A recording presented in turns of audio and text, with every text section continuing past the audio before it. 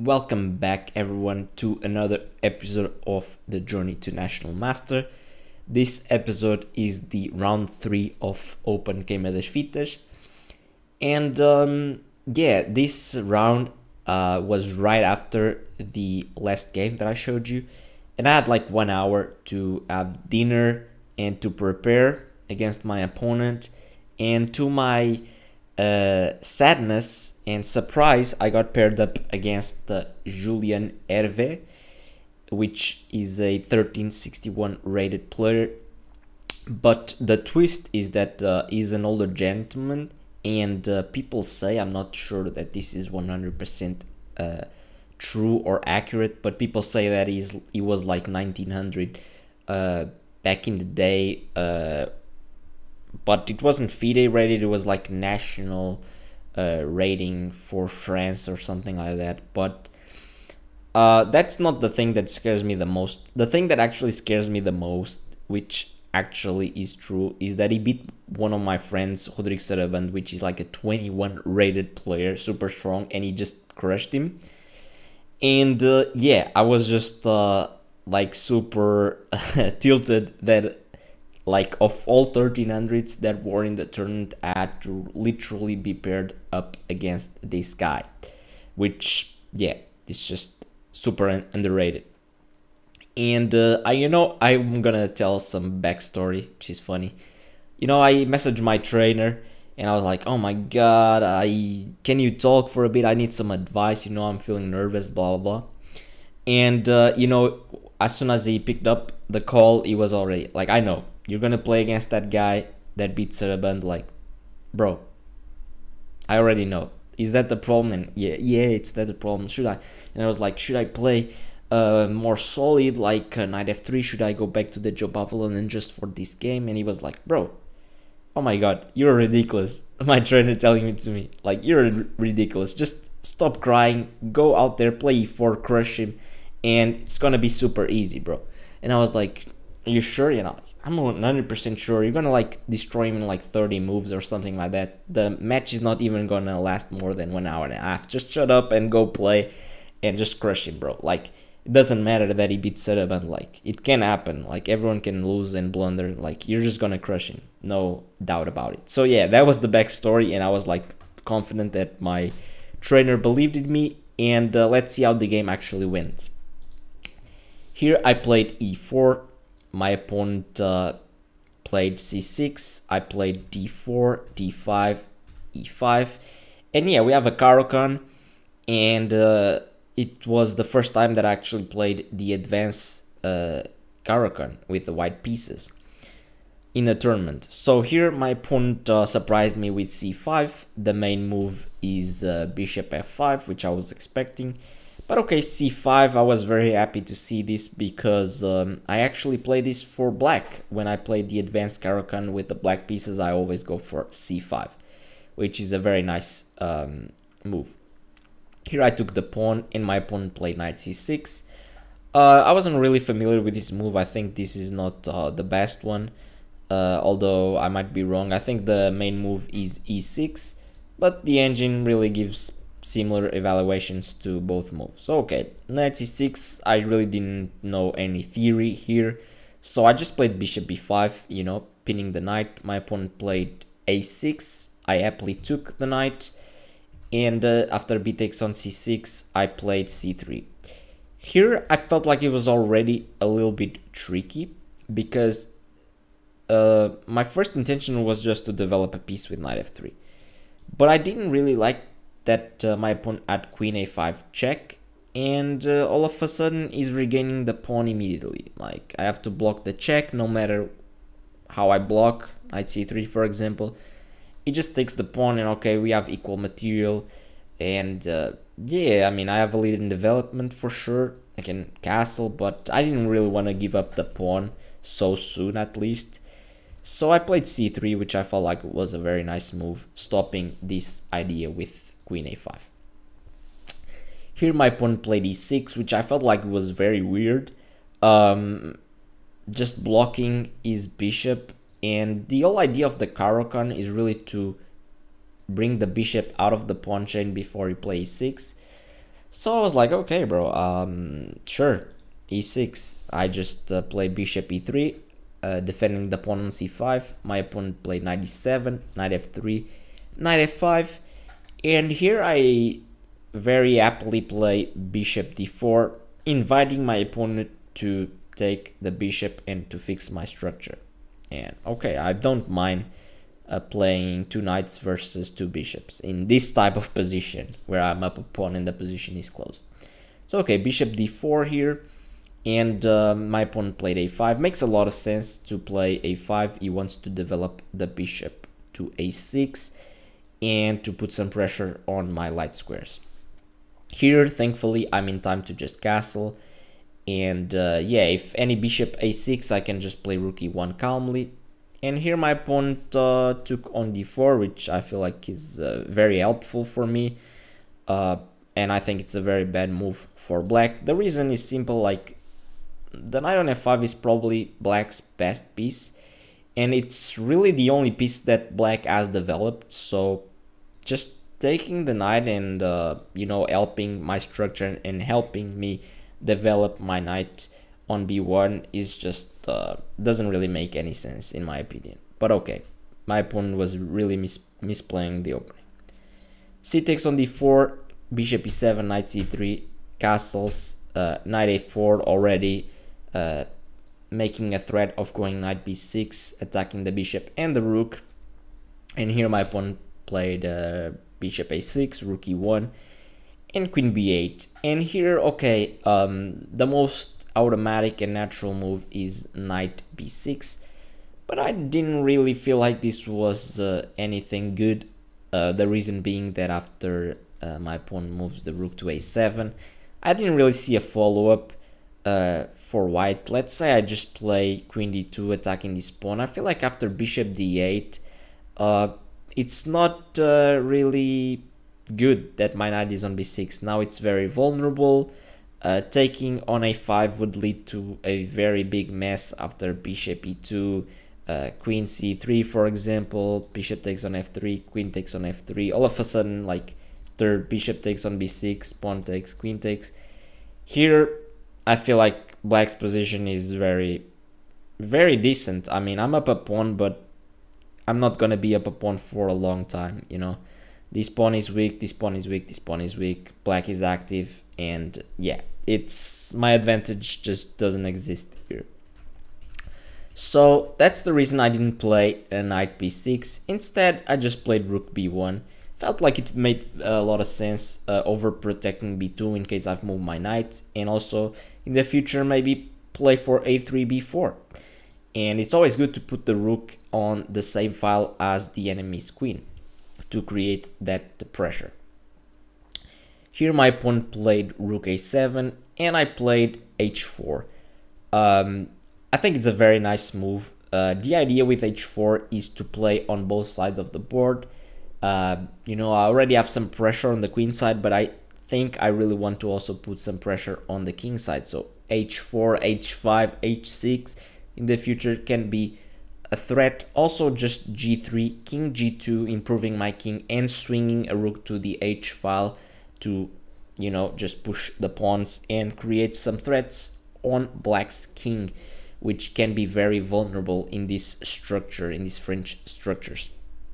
So, okay, h4, my opponent played bishop c4, b3, bishop b5, knight c3, attacking the bishop with tempo, and actually bringing the knight to a better square. And uh, here bishop a6 and g3. I'm going for that idea of uh, that I just uh, explained. And here my opponent strikes with f5, which I felt like it was um, a mistake for sure. I felt like my opponent was already cracking under pressure. And the reason is that uh, I felt like black wasn't really ready for the position to open up. But, I mean, if black doesn't play f5 or f6, it's really hard to to suggest any other move because uh, f5 and f6 is really the only way for black to uh, create some counterplay and indeed um, the engine says that f6 and f5 are the best moves so yeah here uh, my opponent captured with the rook, which is the most natural, but indeed the engine says that it's the worst capture. Uh, yeah, the reason is simple, just my knight gets this e5 square, and uh, yeah, it's just a an amazing outpost where my knight is just completely dominating the position, and yeah, it's really tough. But the problem with the other captures that the engine set says that they are better is that, for example, after bishop f6, okay, uh, 95 doesn't really make much sense now that uh, it can be immediately captured, but bishop f6 drops the pawn on e6, and um, actually the engine says that this is uh, very good for black uh, compared to the other options because all of a sudden black gets a lot of counterplay uh, queen c8, queen e1, bishop d3, and uh, yeah, I have to move my rook. There's a lot of pressure on uh, my light squares, which are weak, and uh, even though black is down two pawns, he's doing uh, fine. But it's really hard for a human to to see that, or for a player of our rating to to see that um, deep idea. And okay, g takes on f6 also drops the pawn on f6 and blocks the rook. It's really weird. But okay, uh, my pawn takes uh, on f6 with the rook, I play knight e5, and here my pawn defends the pawn on c6 with rook c7, I play knight e2, with the idea of bringing the knight to f4 where it's gonna be very good. Here I'm not afraid of uh, exchanging uh, minor pieces. And here my opponent plays queen f8, which I think is a very good move. My opponent is trying to set up a, a little trap. Um, and yeah, it's kind of obvious what my opponent is uh, aiming to, to do. And I had to calculate. So let's see what I'm talking about. Of course, I want to play knight f4. But what I had to calculate, well, after I, you know, before I make this uh, knight f4 move is this obvious exchange sacrifice which is really just screaming to be played. But here I I calculated that uh, this wasn't really that good for black. Uh, after g takes on f4 queen takes on f4 just uh, queen f3 and this solves all the problems. Now black is pretty much almost forced to exchange queens uh, and after this exchange of queens. But yeah, here my opponent is just down an exchange and uh, yeah, not uh, a lot of compensation for sure. Um, the problem here that I just want to point out is that uh, black can't really take this pawn on d4 or this pawn on h4 for the same reason. Let's say queen takes on d4, it just gets mated with queen f7, king h8 and queen e8 check. Uh, so yeah, that's a very important detail. And okay, I wasn't really afraid of bishop takes on h4. Here I think queen g4 just does the job. Uh, yeah, I feel like I'm doing very well here. So yeah, uh, no problems at all. And after knight f4, my opponent surprised me with rook h6, which is a very weird move.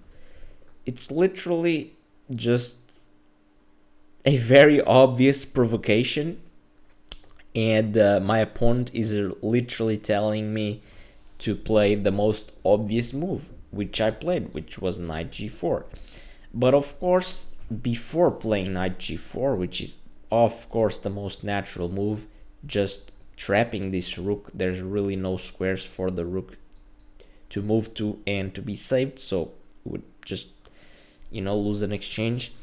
But here uh, after knight g4 the intentions of my opponent which I had to calculate uh, were to to take on h4 this is what uh, my opponent planned and what he saw and what he played you know. Um, so yeah here I have to to make a move you know uh, I think what my opponent uh, just calculated is that after g takes on h4, queen takes on f4, that this position is very good for him. And indeed, uh, this position is all of a sudden equal. I lost all my advantage. Even though I'm up material, up an exchange, my position is super weak. Uh, this pawn is weak. This knight can really be weak. This diagonal is weak. The rook can come uh, quickly to the f file and my rooks here aren't doing much. And I have to be careful. My king uh, is very very unsafe and yeah it's um, it's literally a double-edged position where I have literally no advantage and I'll probably have to defend accurately to not lose. You know, it's hard to move this knight and yeah, it's very tough position. But here my opponent missed something that I saw in calculation, which um, after rook takes on h4, I'm not forced to capture the rook immediately. And I have this beautiful move that wins on the spot. This intermediate move, knight takes on e6. And this is just disaster, total disaster for black. The point is that I'm forking the queen, I'm forking the other rook and this rook here is still hanging and yeah uh, black is just losing material by force. Here my opponent played uh, queen f5 but simply now I can take the rook for free because yeah the knight is no longer hanging on f4 everything is protected and uh, yeah it's just uh, beautiful beautiful tactic that uh, pretty much land me a winning game. Here, even more sad for black is that the rook is still hanging, so my opponent had to play rook c8, and after rook e5, this is where I ended my calculation uh, before I played knight g4. And yeah, this is just completely winning. There's nothing. But okay, my opponent still uh, went on and tried to create some counterplay and fight. Queen g6, and here, you know, I spent some time calculating whether I should play knight f4, if I should play h5, if I should play uh, something else. But I really didn't want to burn all the time on the clock that I had because I spent some serious time calculating uh, the last two or three moves that were played, four or five moves. So, okay, here I just played uh, knight f4 and after queen f7 I brought the knight just back to g2. I really just wanted to regroup comfortably and safely.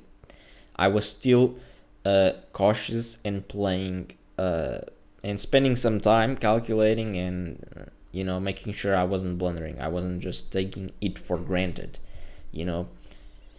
And uh, yeah, rook f8 here, queen e1, putting pressure on e7 bishop and also adding some defense to f2 square. And here after queen d8, after bishop d8, excuse me, I played queen e3 uh, with the idea of uh, tripling on the e file. But even though I was playing calmly and I was still, uh, you know, respecting my opponent's counterplay and making sure I wasn't blundering. Here I completely blundered, very bad blunder. Here after queen e3, my opponent quickly sees queen g6 and I'm losing a piece. Uh, this is just a simple double attack which I completely overlooked. And I was super frustrated with myself like how can I be screwing this up and making it so sloppy? Like, what the heck? Okay, here, you know, just played rook e1, queen takes on g4, and here my opponent was, uh, you know, gaining some confidence, and he was definitely um, more happy than he was a few moves ago. But thankfully here I kind of have something that simplifies the game into a winning position. Like I, I was up a rook and a pawn. I was so winning that even after blundering a full knight, I'm still completely winning, which is crazy and funny. Rook e8, threatening to exchange pieces. Queen d7, and here a very accurate move. Uh, queen e6 check. Just pointing out that uh, if my opponent trades here, which is probably the best move, uh, you know, I felt like this was uh, a just a winning endgame and indeed it is it is a, a winning endgame. Okay my pawn doesn't have to play um, queen uh, my pawn doesn't have to play king f7 but uh, I was looking at something like this and uh, yeah I felt like this was uh, very much winning. But yeah my pawn can play bishop e7 first maybe and yeah although I wasn't very happy that I still had to convert this position I felt like this had to be winning because come on I'm up uh, an exchange and I'm still up a pawn but actually, to my surprise, my opponent played queen f7, which is an horrible move, which makes my life 10 times more easy. And here after rook f8 takes on f8 check, my opponent is forced to take with the king, and all of a sudden I'm picking up a lot of pawns. Uh, yeah, I'm just uh, picking up two more pawns, and now it's just a matter of trading queens and just pushing pawns and just easily winning. So yeah, here I was already like, okay, it's over. There's no way. My opponent played queen g6 and here I played queen f3 check and after bishop f6 I played d5. Funnily enough, I missed a mate in four moves. Uh, yeah, it's kind of embarrassing, but it happens. Uh, yeah, here apparently I have a mate in 4. You can try to pause the video and, uh, you know, find it. It's not that difficult. Uh, the move is queen a8 check and uh, let's say my opponent blocks with the bishop here. I have queen takes on the 8 check and after king f7 queen e8 check king f6 queen e6 checkmate. And if my opponent uh, plays the other legal move king f7 here i just play queen e8 checkmate. So i missed that. Okay i missed that. Doesn't matter. I'm still winning. Just pushing pawns d5 here my opponent played king g8 in here i find a very nice move h5 forcing a queen trade because if my opponent uh, leaves this diagonal the bishop will be hanging. Okay, we traded more pieces and here I just played c6. It's um, it's over. There's nothing to be done. King f7, d6, king bishop d8, rook e5 attacking the bishop, bishop e6, c7, and after bishop f6, I captured the rook.